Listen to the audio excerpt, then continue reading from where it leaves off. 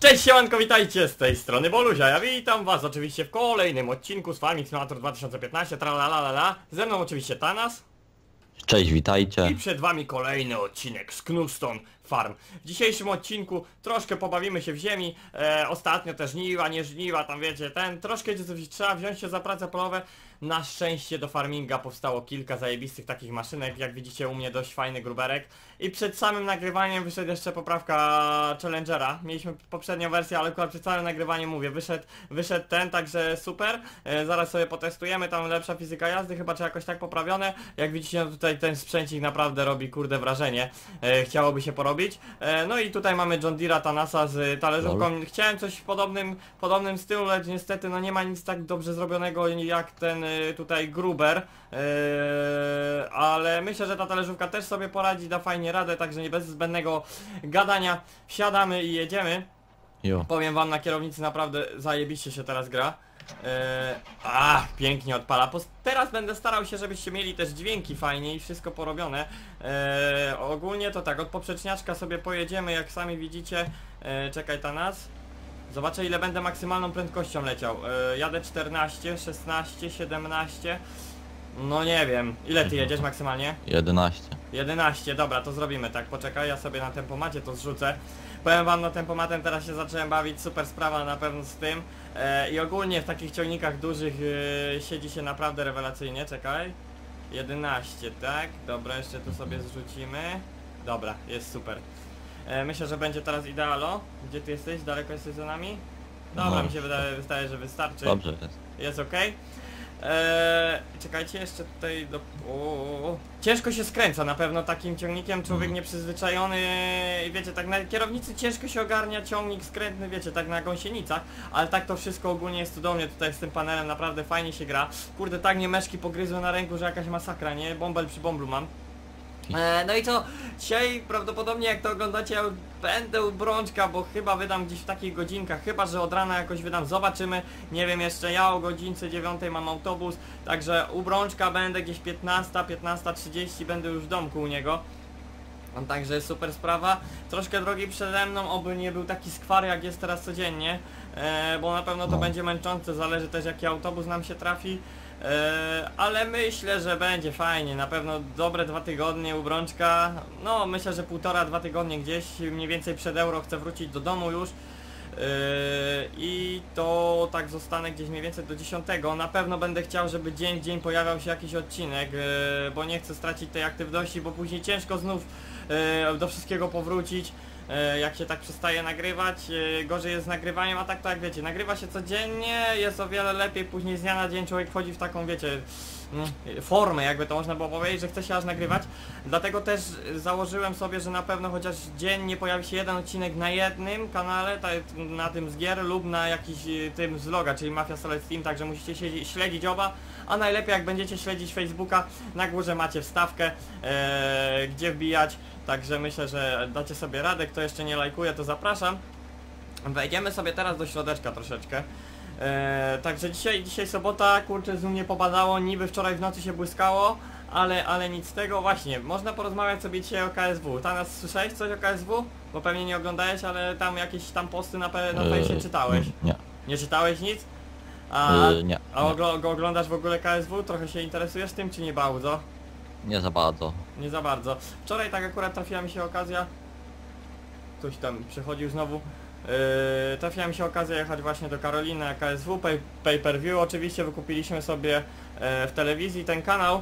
E, powiem wam, no pierwsze walki to rekordowe można powiedzieć jak dla e, całej KSW, no bo przez pierwsze 7 walk było, wszystkie były w normalnym czasie, nie? Po 15 minut, także no troszkę się z tym zeszło. No i oczywiście główne trzy walki wieczoru, wprawdzie dwie, no ale można powiedzieć, że trzy, no bo Maderla też e, liczył się do tej walki wieczoru, naprawdę klasę pokazał. E, ładnie tam gościa potłukł e, i później trzy, dwie walki, dwie walki wieczoru. No powiem wam, każdy czekał chyba na to, no Pudzian znowu po długim czasie, no i oczywiście nasz e, nie, nieprzegrany Kalidow. E, powiem Jo. wam, że no obstawiałem od razu pewne tutaj, e, pewną wygraną. E, bił się Pudzian z tym, kurde jak on ma? On na z Płocka jest ten koleś. E, wiśnie, nie Wiśniewski. Mm. O kurde, teraz to zem- ale mi z głowy wyszło. Ogólnie ten ziomek jest od nas z, z Płocka. E, tam z kolegami gadałem, to właśnie Jaden też gada, mówił, że widzieli go w Płocku e, kilka razy już. Koleś jest tak totalnie wytatuowany, że jakaś masakra, nie?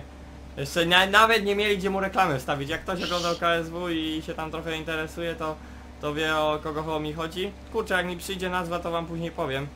Bo no Jo. wiecie, często z głowy wyjdzie, no i obstawiane tu było, że no Pudzian spokojnie sobie z nim poradzi, nie? Ale, ale niestety tak się nie stało. Niby Pudzian tutaj, nie wiem, moim zdaniem było to odklepanie. E, chyba, że tak dziwnie mu ręka poleciała, po prostu przydusił go i, i Pudzian, no widać, że tak było, że go klepnął trzy razy, więc no sędzia zareagował tutaj. Pudzian później wielkie wąty e, do sędziego, że no jednak to, ale później uznał mu rację, że to jednak on ten mecz, e, znaczy sędziuje i w ogóle. E, także moim zdaniem to było odklepanie przez Pudziana. On mówi, że no widać po nim, że mógł jeszcze trochę powalczyć, bo naprawdę nie był zmęczony i fizycznie wyglądał o wiele... O, Różalski, widzicie, przypomniało mi się, z Różalskim się bił. Wyglądał o wiele, wiele lepiej od Różalskiego i widać, że ten ostatni rok y, potrenował troszeczkę nad kondycją. Schudnął, ze 150 kg walnąć 120, to naprawdę daje... Nagrywam! Mm. Naprawdę, naprawdę daje radę. I nie to, że wiecie, tam widać jakieś ubytki czy coś, naprawdę wszystko to przekształcił w mięśnie Pudzian. Także wczorajsza walka zawsze wyglądała tak, że Pudzian dwie minuty tam trzepał go ładnie i nie miał później siły, chodził jak sprężara. W pierwszej rundzie zawsze sobie obstawiał, że musi wygrać. Tutaj tak nie było, pierwszą rundę normalnie jakoś tam pobili się troszkę, no i później, no mówię, ta jedna niefartowna akcja, gdzie go akurat założył mu gilotynę przez duszenie, no i niestety później jeszcze Pudzian chciał go prowadzić i tak jakoś, nie wiem, na plecy oni zeszli, bo tak to go trzymał w powietrzu i chyba w tym momencie on właśnie najbardziej ucierpiał Pudzian, ale ciężko się z tym zawija Krzychu. Właśnie Eee, z, widzę. tym, z tym ucierpiał i wtedy właśnie to podduszenie chyba już do, do końca doszło. Eee, I Pudzian, no tak widać, że był przyduszony, ale później nie mógł się z tym pogodzić. Tamten w ogóle go wycałował, ja byłem siny, nie? Tamten, wiesz, ucieszony na pewno, no bo kurczę, no ten Różalski jakoś tak nie, nie przepadam za nim. Taki jak on sam siebie nazwał, jest psychopatą. Eee, też kumpel tak ostatnio na niego coś tam opowiadali, patrzył na niego w tym eee, w Płocku, nie? W galerii. Tamten przechodził i coś tam już od razu jakieś wąty do niego, nie? Takie widać, no koleś, coś takiego typu gołota. Eee, chodzi po imprezach wiecie, trzepie co się da. Bo sam mówił, że dla niego walka lubi się, lubi się trzaskać, nie? No to a Pudzian, lubię Pudziana, no bo on taki nie jest. Pudzian tylko na ringu i co bardzo mnie to cieszy. Ciekawe czy ciągnik w ogóle już znalazł. Bo ogólnie po, tam z tego co wiem, no to chyba jeszcze nie, bo żadnego infa nie było, ale wypowiadał się, że jak tylko kogoś tam znajdzie, no nie po- powiedzieli, że go znajdą, bo jest tak ścipowany i w ogóle tam powinni od razu go dojść, ale jeszcze tego nie ma. Nie wiem, czy go ktoś naprawdę tam ładnie poprzerabiał na części czy coś i powyjmowali to wszystko, ale nie, nie wiem. Także no jeszcze Pudzian silnika nie odzyskał niestety. Ty Krzychu, ja to chyba od ciebie odjadę, bo jak ja mam jeździć na takim półbiegu, to mi się nie chce. Te 11, jak ja mogę No dobra, to przycisnąć ja. 17, to ja po- dojadę sobie tu do końca i ja gdzieś przez środek się przetnę, albo będę robił tamtą stronę, wiesz? Mhm. Bo jak ja mogę pocisnąć tu 17, to ja mu pocisnę te 17. Tak to troszkę szybciej będzie nam to na odcinku schodziło. Ogólnie później się możemy zamienić. Yy, poczekajcie, No. przelecę sobie na tą stronę i teraz odbicie lustrzane muszę pamiętać, że jest. O, dobra, już, już ogarniam powolutku. Widzimy też Tanasa z tyłu. E, także no nie powiem, no, no tutaj ten pierwszy to taki no troszkę zawiedziony byłem. No i później obstawiałem no drugi, no Kalidow. Widziałem, że tamten drugi jest masywny, już tego wam nie powiem, to był Turek. Turek Niemiec, ala Turek Niemiec, bo wiem, że to urodzenia był z Turcji, ale chyba mieszkał w Niemczech, coś w tym stylu. E, i, I powiem wam, że no tutaj wiedziałem, że będzie ciężko, ale nie myślałem, że aż tak. I powiem wam, że jednak to co Kalido powiedział, że kończy na razie e, robi sobie minimum roczną przerwę, nie dziwię mu się, bo nie, nie widać było tego głodu gry, jak on to nazwał, e, gło, głodu walki, przepraszam, i nie powiem, no wczoraj chciał, ewidentnie chciał do parteru, nie chciał, nie chciał się, wiecie, tam e, w stójce patyczkować z nim, bo widać, że to mu nie szło. E, I powiem wam, że no wczoraj to naprawdę była jakaś masakra, no oprócz, no fakt, że to, nie powiem, sam Kalido był zaskoczony, bo tak, założył mu dźwignię na nogę, noga chrupła, złamał mu nogę, on nie odklepał. Dobra, no to Kalido dalej, założył mu później na rękę, ręka chrupła, złamał mu rękę, nic, koleś nie, nie odbił, nie, po prostu no, ja jestem silny, że ten koleś tyle wytrzymał. Eee, I Kalido po prostu już nie wiedział co ma zrobić, bo na tego, na tego ziomka nic nie działało. No więc później, później zaczął, jak ktoś oglądał może to, no to troszkę to dziwnie wyglądało, co chwilę na plecy się przewalał. E, jeszcze ze dwa razy tak, później dostał ostrzeżenie, ale nie dostał karnych punktów. E, jeszcze ze dwa takie przewrócenia i miały właśnie odjęte punkty, więc pewnie już raczej by tego, e, tego wtedy nie wygrał. No i wszyscy obstawiali, no nawet sam, sam Kalidow kręcił głową, a tamten się cieszył, bo każdy chyba przed telewizorem jak to oglądał obstawiał, że, że wygra jednak ten drugi. Ale nie stało się tak, no Kalidow był zniesmaczony tą Bolek decyzją. tamtą stronę robisz? Tak, ja będę tamtą stronę robił. Dobra. Kalido był zniesmaczony tą tą i powiem ci chciał oddać mu pas, nie? Z, wiesz, ten Mhm. jak dostał tylko pas to od razu się odwrócił, dał mu ten pas i powiedział, że on nie zasłużył na to, no ale e, niestety, niestety tamten powiedział, że go nie przyjmie, no i wiesz, taka sytuacja trochę dziwna, bo tak, ten chce oddać pas, coś tam mówił do sędziów i w ogóle mówił swojemu temu przełożonemu, że mu przetłumaczył, że on nie chce tego pasa, że nie zasłużył. E, a tamten mówi, że wiesz, że no, no tak zdecydowali i trudno, no i tam troszkę dłuższa wypowiedź była z Borkiem. Tak dobrze chyba mówię, z Borek tam to z nimi porozmawiał. No i tamten mówi wprawdzie, że no dla niego on jest mistrzem i zawsze będzie i, i widocznie tak jak zadecydowali, zadecydowali tak musiało być. No tutaj wygwizdali trochę Kalidowa. E, Trochę dziwne zachowanie, no bo jak wygrywa to wygrywa, wiadomo człowiek nie jest robotem, nie zawsze musi wygrać. E, No tutaj pokazał trochę słabszą walkę, ale to tak jak powiedział, nie, nie, miał, nie, miał, nie widać było tej, tej chęci z nimi też nie miał pomysłu na, na tą grę zbytnio, na tą walkę e, z nim i tak nie dziwię się, ale ludzie zaraz tam oddaj pas, zaczęli go wyzywać, było słychać z tego. Dla mnie to jest takie, no te Polaki to są w ogóle. Jak się jedzie już coś oglądać, to trzeba mieć i umie, umieć wyjść z głową jak się i przegra też. Ogólnie goły wysypa, wysyłał snapy też yy, z tego, z KSW. Yy, gdzieś tam się szwendał po tych. Yy, chyba dość blisko nawet, bo widziałem zdjęcia sobie pocykał na, na snapie tam chyba z sobotą. Mówi, że i z, mam, yy, z tym, z, z, z, z, z, z, kurde, nie Mamedem, tylko kurde, kto ten trzecią walkę wieczoru miał też mieć? Yy, Maderla. Z Maderlą chyba mówił, że rozmawia, także nie powiem no goły, tam widzę jakieś wipowskie chyba wejście miał. Yy, o, myślałem, że już muszę cofnąć. E, także goły tam troszkę sobie pozwiedzał, widzę. E, powiem wam pewnie na fa fajne przeżycie, nie? Ale tak na jedną walkę tyle kasy, może, może kiedyś zobaczymy. Na pewno fajnie to było, było obejrzeć wszystko, wiecie, tam tak po prostu z ich perspektywy. E, z trybun, ale to mówię, to jest masakryczna kasa, oni taką kasę na tym KSW biją, że to jest, No. to jest głowa mała. E, te reklamy, w ogóle te firmy, oni mają tam wytatuowani są tymi reklamami, kurczę, no to jest, to jest masakra jakaś, on nawet jakby nie miał siły, on jakby zemdał, oni by tą, oni by mu koszulkę założyli, żeby tylko ta reklama była. Mówię, to jest taki, taki sport, gdzie, gdzie, gdzie się poreklamować, mówię, wpuszczą, wpuszczą dwóch chłopów, żeby się pobili trochę i... No. Ja, ja tak, no, od, obejrzeć sobie lubię takie coś, ale nie, nie przepadam. Bardziej przepadałem właśnie za, za Pudzianem, jak, jak on podnosił te ciężary. Nie powiem zawsze, co sobota się zasiadało, tam godzina chyba około 15 to leciało i się oglądało. Powiem Ci, że jeszcze najfajniejsza sprawa jest to, że jeszcze od, no Pudzian od 3-4 lat chyba już nie podnosi. I, a na, na razie jest najlepszy na świecie, nikt go jeszcze nie przebił, ponieważ on tam, nie wiem, miał chyba tych 5 zwycięstw z rzędu, jak, jakoś to, czy tam 5 mistrzostw obok siebie, coś, coś w tym stylu. I nikt jeszcze nie może, nie może go pokonać, także no Pudzian na pewno zostawił po sobie duży ślad w, w tych, w strongmanach. Brunejka Ale tam też- jeszcze daje radę. Bio?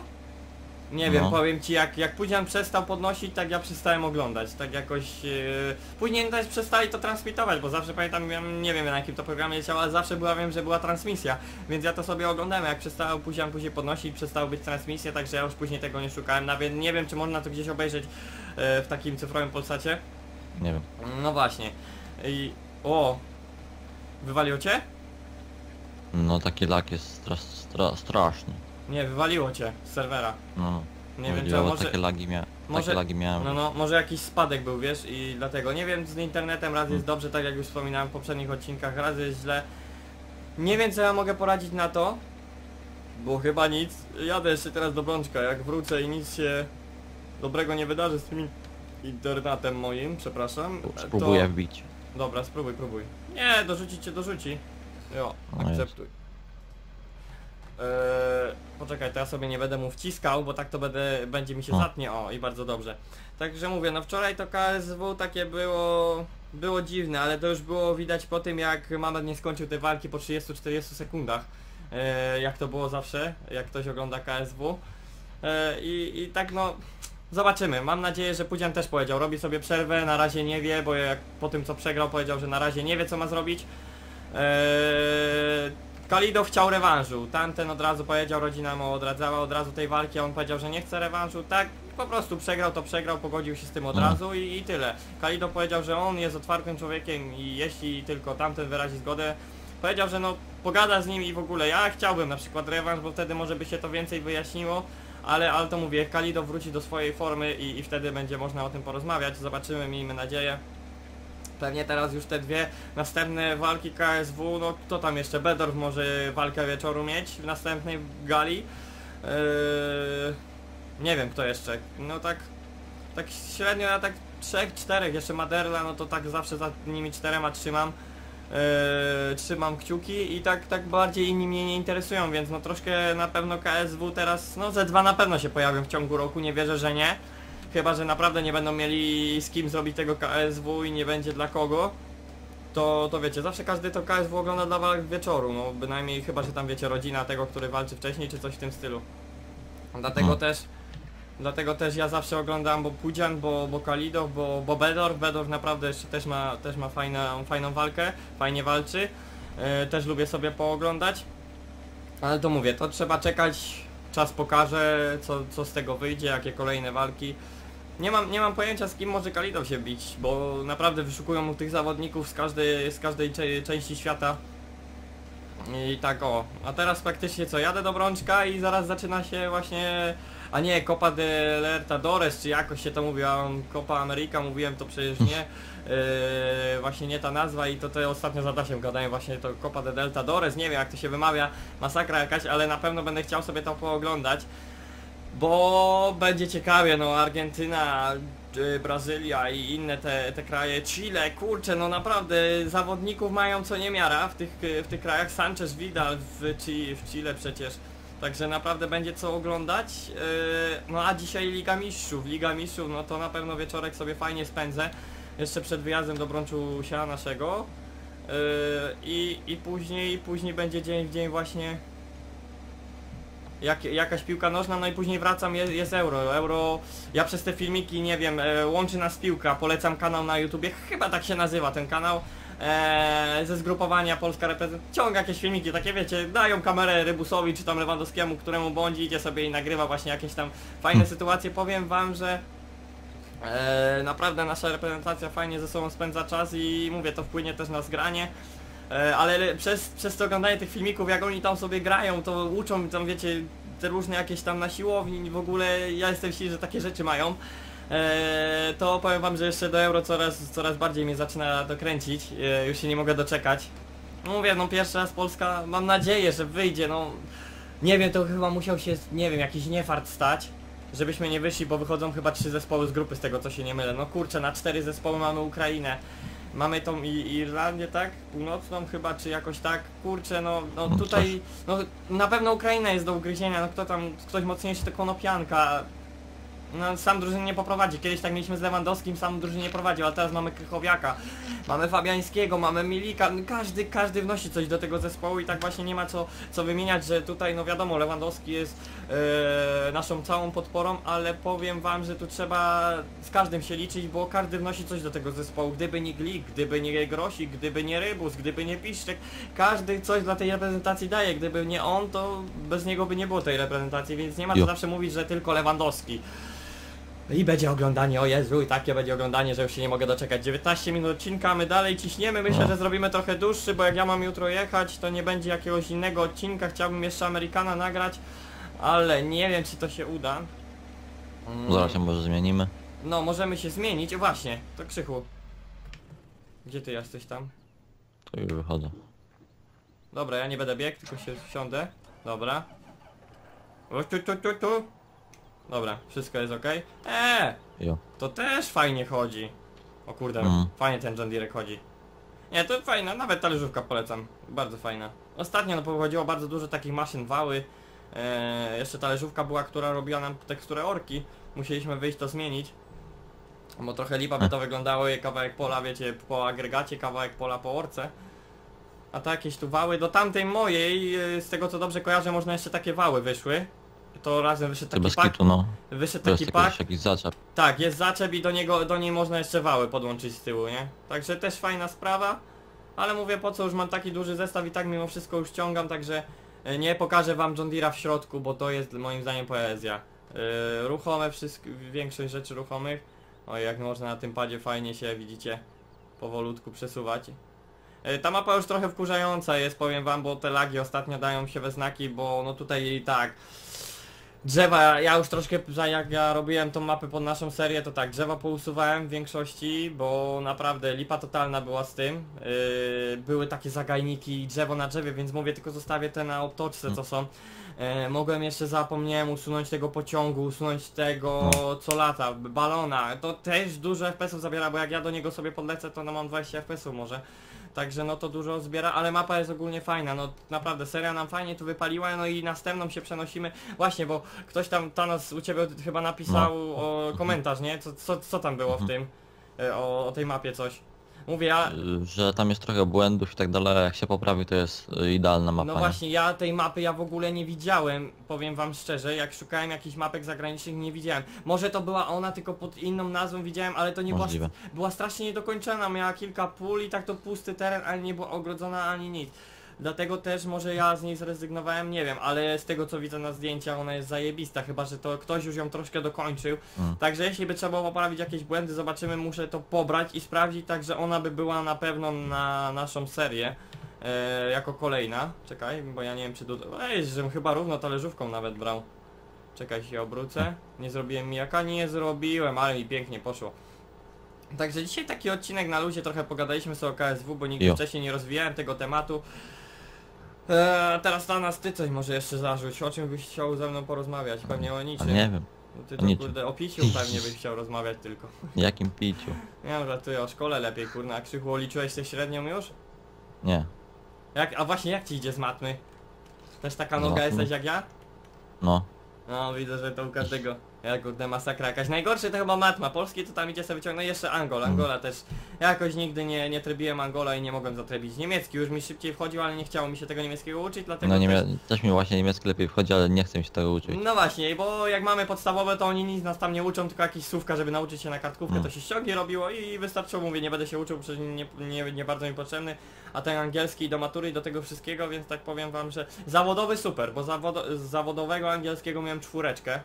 Także no powiem wam ciekawie i ten zawodowy bardziej mi się przydaje w takim normalnym, nie? Bo tam było e, wiecie, klienci, sprzedawcy, tak jak to co wiecie, ja mam w zawodowym, tak jakby był na rolniczy, to bym się jak jest ciągnik, jak tam jakieś pewnie sprzedaż mleka, wiecie, wszystkiego ma, no O. takie wszystko co macie w tych zawodowych, to później to jest przekształcane na angielski, co wam się to może przydać za granicą, nie?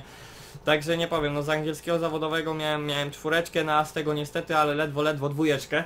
Ale, ale dało się rady, angielski się zdało na tej maturze. Mm, Ciekawe, czekam teraz na wyniki, bo one dopiero chyba 5 lipca będą. No ważne, ja się najbardziej się cieszę z tego, że, że mam zdane ustne, bo ustnych by się mi na pewno nie chciało, a tak to jak chodzić sobie pisać, to co roku sobie pójdę, coś tam sobie popiszę, może się za którymś razem uda. Mam nadzieję. Ech, kurde, ale ten John Deere jest kozacki, mi się wydaje, że zostawimy go. Jeden z ładniejszych John Deere'ów z racji tego bardzo ładnie, Mm. kolorystycznie zrobione. Czekajcie, przysuwanie, którym było tym. E, sami zobaczcie, jest to John Deere 7920.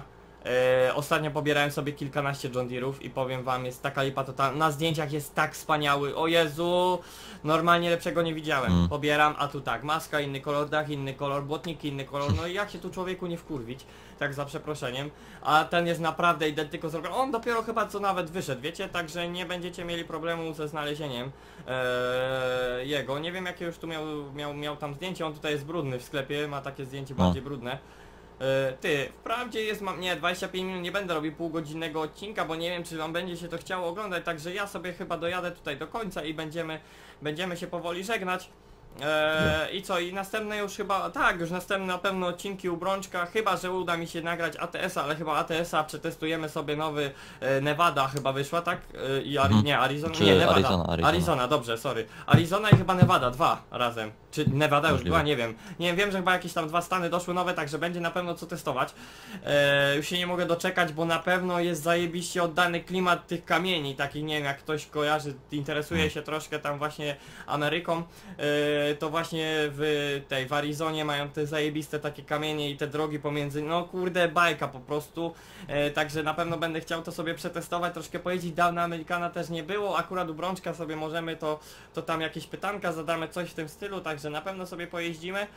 I właśnie, tak nawiązując do Amerykana, kurna, ostatnio, a to, a to dobra, mogę powiedzieć, ostatnio, znaczy wczoraj dwie ciężarówki amerykańskie, yy, Kenworthy, jak się nie mylę, zderzyły się u nas właśnie na, na autostradzie, jedna w drugą wjechała, wieź, wiozły jakieś e, wojskowe coś rzeczy, nie, wjebała się totalnie i w tył i się uszkodziła, ale pięknie wyglądało te Kenworthy, to jest zo, że chciałbym, żeby po polskich drogach tak więcej tego jeździło.